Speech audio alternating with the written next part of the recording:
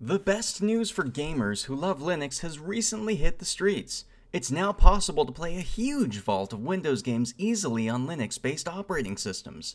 Here's how to get started.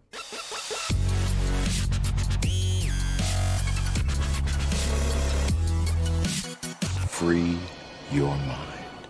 Alright, this is not exactly recent news, but there are still yet thousands upon thousands, nay, possibly millions who don't know the fact that you can play many games that were only meant for Windows now on Linux, thanks to Valve's new product, Proton, which is a modified version of a couple of open source compatibility layer softwares that you can use in order to play Windows based programs. Now, Proton comprises other tool- popular tools like Wine and DXVK, among others, that a gamer would otherwise have to install and maintain themselves. This is absolutely true. Before Proton came out, many of us who tried to use Wine, a Windows compatibility layer for Linux, and others to try to play our games, let alone run Windows programs, have been a royal, royal pain. and it's it's been a nightmare to try to get these things to work. And so most of us have given up. Some of us just get, we get excited when something natively comes out for Linux, and that that's all well and good. But now the fact that we can play Windows-based programs, Windows-exclusive titles on Linux, and run them just as easily as running any Linux native game is fantastic. There are plenty of games out there that are being shown by users that they work flawlessly out of the box even though they're not officially whitelisted or shown as good to go by Valve, many of these titles run incredibly. I just played Elder Scrolls Online a few hours last night using Proton in my Linux Mint distro, and it was incredible. It was flawless, the frame rate was perfect, and I was so excited that I didn't need to boot into Windows in order to get this game running. I look forward to the day where I don't need to have a Windows hard drive on my system in order to dual boot and switch from Linux to Windows to run my Windows based games, which, if you'd like to figure out how to do, I've included an easy tutorial on how to set up dual booting and uh, run Windows and Linux on the same desktop at the same time. I'll, I'll include that in the links below. But for now, let's get you started so that you can also enjoy the fruits of playing your Windows games on Linux. So the first thing we're going to do is we're going to download and run Steam. You can use this during your with your software uh, manager. If you're running Linux Mint, you'll use Software Manager. If you're running uh, Ubuntu or Fedora, it'll be the GNOME Software Center, uh, KDE, you know their software center. Uh, so whether you're running Arch, OpenSUSE, any any Linux distro, uh, you can open up the software manager and search for Steam. And you'll want to run and install the native Steam app. In my opinion, this is just the right way to go, the best way to go because you don't have to worry about containerized problems or problems with virtualization from running something like the FlatHub or the Snap package. It's, it's up to you. They, they may work fine. I honestly just run the native version because I get worried that something's not going to talk to my hardware or my NVIDIA uh, graphics cards, and I won't be able to utilize the full potential of the game. So, in my recommendation, install just the program or package that says Steam. Not Steam FlatHub, not Steam Snap, just Steam. The other way to do this is to open up a terminal, and you can depending on which distro you're running, use your command in order to install Steam. Okay, so once Steam is installed, we're going to open it up. And you're going to log in if you haven't logged in. Once you've logged in and started Steam, I'm going to show you a couple of things here. You're going to see that I have uh, a few games here, and I've given them my own personal collection categories. But if you look, say, for example, here in the uh, Linux supported games, these are a list of games that are supported with the use of Proton. When I filter them out, show games that only run on Linux, you see this goes down from 112 to 39 because these are now the games that work natively for Linux out of the box. So things like The Cave or Dark Souls 3 because these can run without a compatibility layer to in order to work.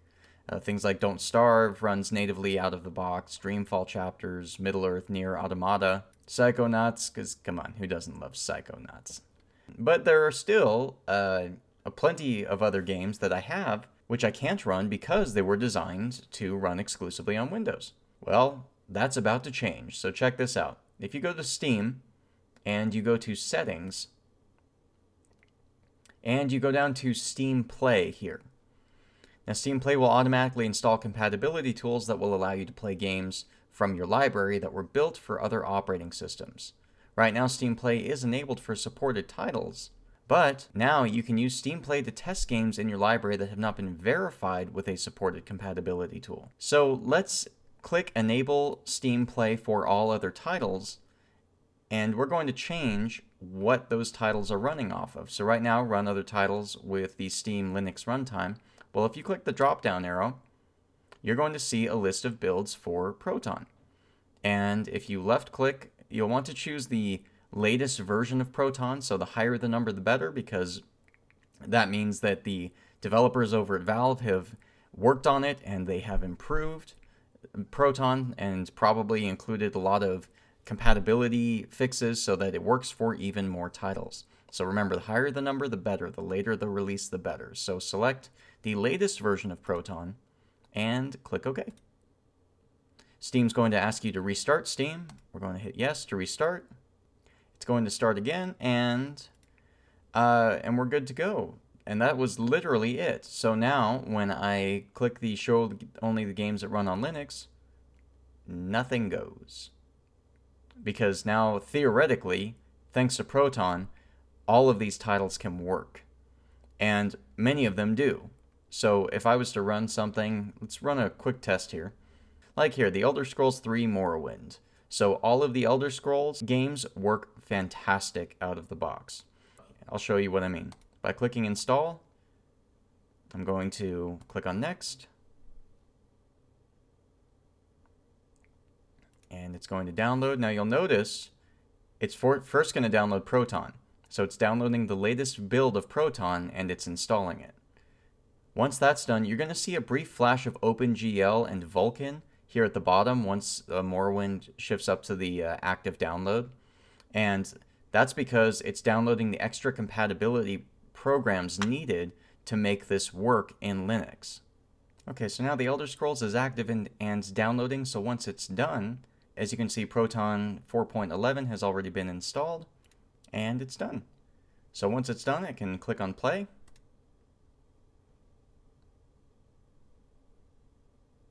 And look at that.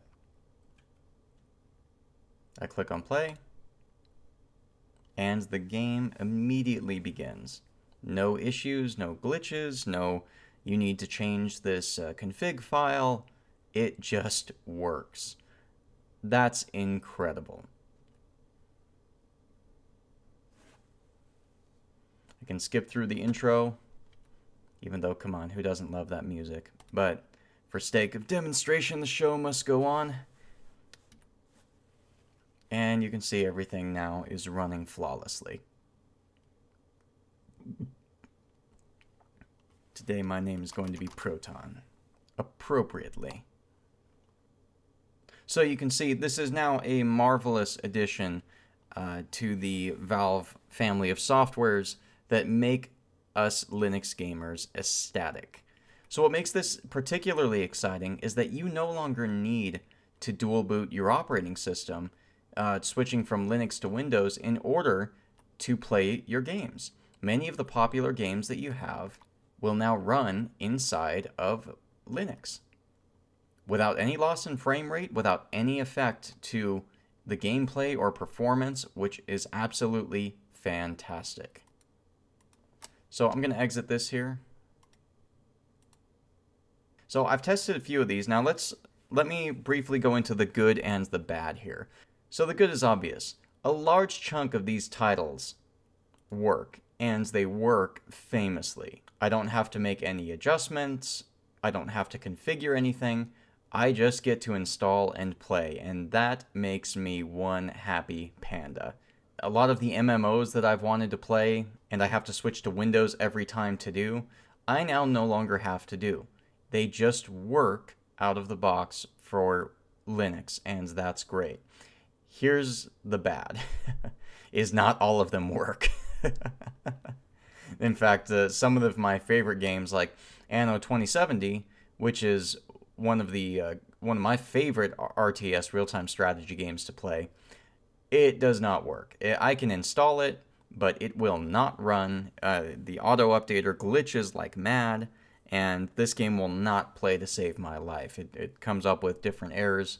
So this is not a perfect system yet, but this is an amazing step in the right direction. And there are plenty of others, as this website shows you here, the protondb.com, that there are still a large amount of games, including, interestingly enough, the top 10 list has three of them that are borked, meaning they're, they're technically broken or they crash and they're pretty miserable to experience and play on, and yet they're the among the top 10 most popular games played on Linux uh, using Proton. So I know that stuff is still being worked on. This is still in active development. And things have made huge leaps and strides, but they're not there yet where everything works great and everything works out of the box. This is a huge step, a huge step, uh, leaps. It, it takes leaps and strides ahead of where we were even four or five years ago for playing games on Linux. And good on them. Good on the Valve developers. Like, they have made life awesome for us. And as you can see, there are plenty of issues here on their GitHub page where it's actively being developed and collaborated with.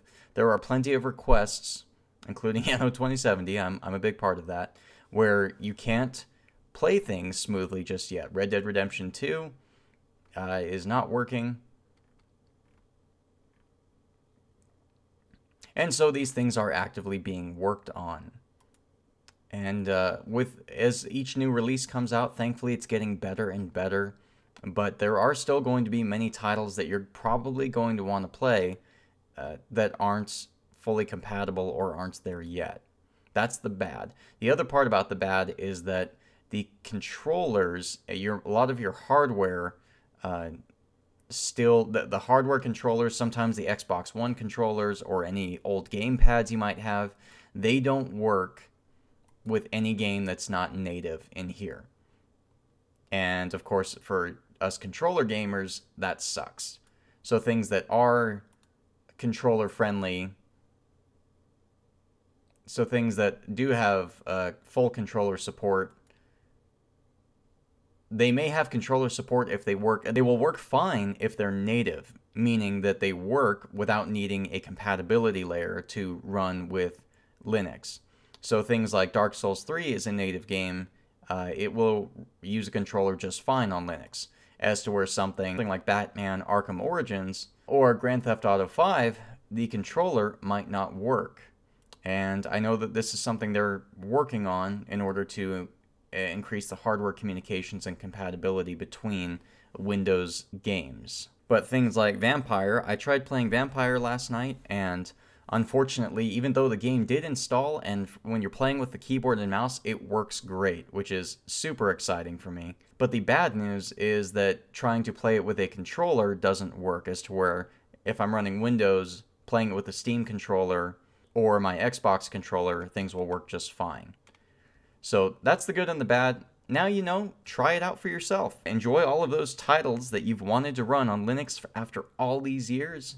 And now you can start to buy future games without worry because even if they weren't designed for Linux, it's pretty likely Proton is going to make them available for Linux in the future. So, for Linux gamers, the future is bright. If you found this video helpful, I'd super appreciate it if you'd click the like button below and also hit subscribe so that you can get future helpful videos and tutorials on how to use Linux and free software. This is Free Your Mind.